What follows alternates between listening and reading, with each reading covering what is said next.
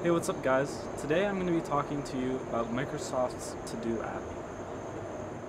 So when you download the app from the App Store, um, it will come as this Microsoft To-Do app. All it just says is To-Do, doesn't have Microsoft's branding or anything on it. They keep it very clean. That's one positive of this app.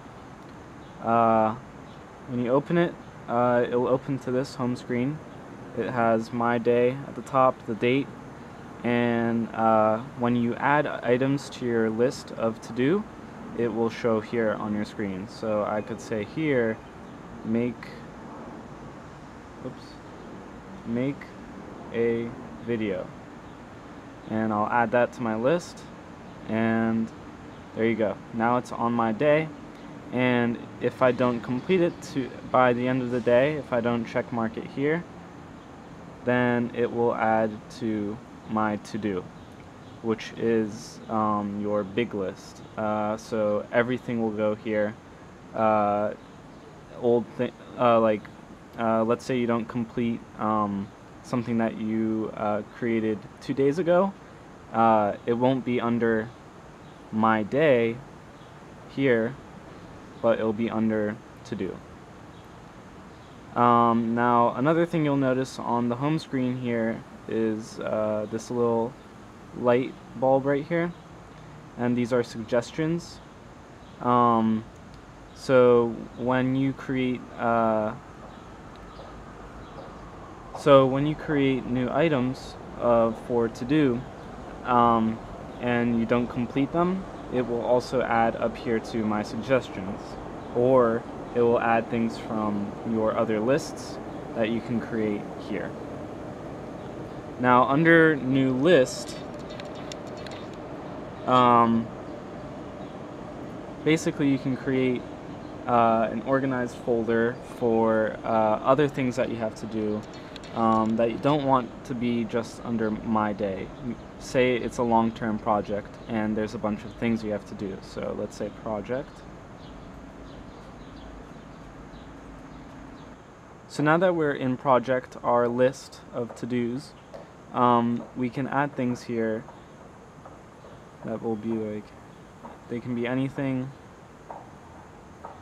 And instead of adding to my day here, you'll have to come here under your list of project and you'll see them here. Now if you come back under suggestions, you'll see here hi and hey show up from uh, project, the project list. And these are suggested to you for maybe, oh, this is something you want to do today. Now, if you want to delete something, uh, all you do is swipe to the left and it will delete it. And if you want to add something to my day, let's say from our project list, we just swipe to the right and it will add it to my day and we can delete this. And now under here, you'll see, oh, there's high. And we can say we did it. Now here's the thing. When you checkmark something, it will not eventually delete itself. You'll have to come back and swipe to the left and delete it. So until then, that to-do will still be there. It'll be checkmarked as done, but it won't be gone. So for each item on your to-do list, you can actually access each one and have it either remind you or uh, add a due date or you can add a note. Now you can actually do both, uh, reminder, let's say later today, and then you can add a due date for tomorrow. Um, and you can repeat it as many times as you want.